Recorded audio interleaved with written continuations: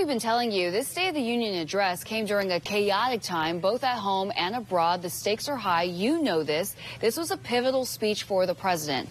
So joining me live to talk about what this speech means for us is Mark Smith, the director for the Center for Political Studies at Cedarville University in Ohio.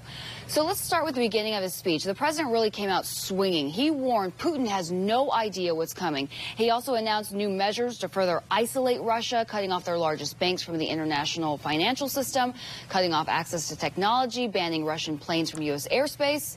So my question to you is, did the president take the right stance, and was he tough enough? I think that he took the right stance. Uh, I think what the world needed to see and what the Ukrainians needed to see was a unified Congress and a unified president. And they saw that. Uh, there was great symbolism. There were splashes of, of yellow and blue throughout the auditorium. There were Ukrainian flags.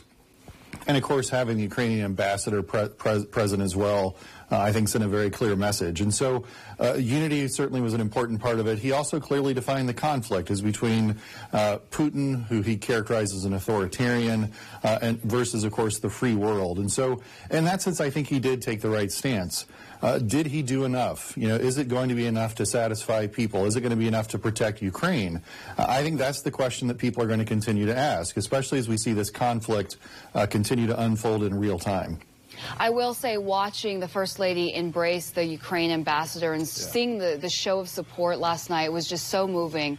Um, let me ask you, we don't have a lot of time, but the other big topic he tackled was, of course, the economy, inflation at a 40-year high. The president announced new investments in manufacturing to tackle these high prices. Is that going to work? You know, I, I, think it was good for him to, to address it. It's clearly, I think, the most important issue for most Americans right now. They see the eff effects of inflation every day. But he really does not have that many tools at his disposal. And he sounded an awful lot like Donald Trump, you know, make things in America again, essentially was what he was saying. Is that going to mean trade wars? Is that going to mean more investment that we possibly can't afford? And so I think he was right to address it. I'm not sure he has the right tools at his disposal to really handle it. And Mark, I literally have no time left, but just quickly, do you think that this yep. State of the Union address will help his poll numbers, which are falling? Yeah, I, I, don't think so, honestly. I think it's better for D.C. and paid more attention to in Washington, D.C. Uh, and the rest of the country, I'm not sure it will really matter.